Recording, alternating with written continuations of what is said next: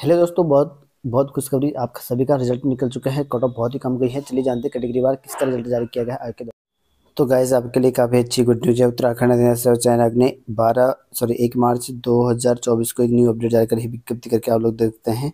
उत्तराखंड अधीन चयन आयोग द्वारा यहाँ पर पशुधन प्रसार अधिकारी और यहाँ पर अधिदर्शक, प्रदर्शक रेशम के विज्ञप्ति टी पदों की लिखित परीक्षा जो आपके 11 फरवरी को हुआ था, उसके लिए आपका रिज़ल्ट हो चुका है जारी।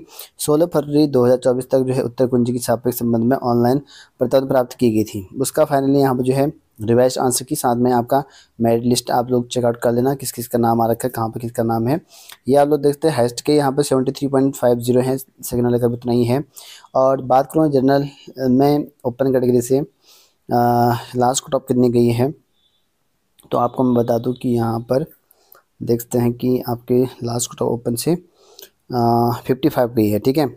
तो फिफ्टी फाइव पॉइंट समथिंग गई है वैसे यहाँ पर आ, जो वुमेन है उसकी गई है जनरल से फिफ्टी थ्री गई है। और वैसे ई डब्ल्यू एस का देखते हैं हाइस्ट वाले के यहाँ पर फिफ्टी फोर है। ई डब्ल्यू एस का ई डब्ल्यू एस का लास्ट गई है आपके यहाँ पर फोर्टी नाइन गई बहुत ही कम कट ऑफ़ गई है। ओबीसी में टॉपर यहाँ फिफ्टी फाइव पॉइंट समथिंग है। लास्ट क्या है? ओबीसी का fifty one point two five और एस का यहाँ पर highest fifty three point two five है। और एस का लास्ट क्या है आपका यहाँ पर? फोर्टी वन पॉइंट समथिंग बहुत ही कम गई। एस टी का एस टी का यहाँ पर देखते हैं। एस टी का तो और कम गई है। यहाँ पर थर्टी सेवन पॉइंट समथिंग गई है। और रिवाइज आंसर किया ये है। इस तरह का देख सकते हैं। कुछ क्वेश्चन यहाँ पर आयोग ने ए और सी मान रखा है। आप लोग क्वेश्चन नंबर चेकआउट कर लेना। किस किस का आंसर चेंज किया गया आयोग के द्वारा।